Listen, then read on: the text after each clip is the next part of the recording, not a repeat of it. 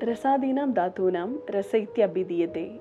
The word rasa itself is uh, meaning the term uh, mercury, which actually is one which en- imbibes or enhances the rasa content or the basic essence of the body. So, mercury is one which always has been looked upon as a material which is creating impurities.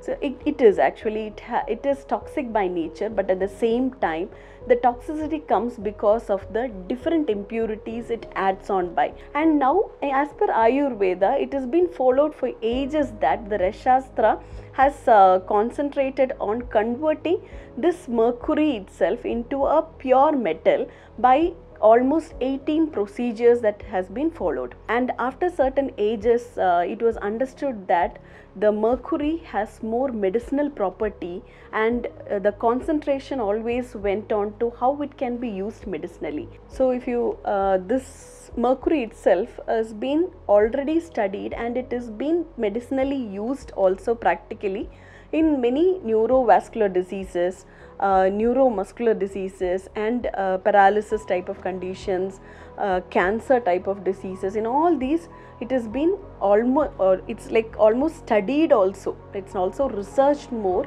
and practically it has been in use also for this uh, type of diseases.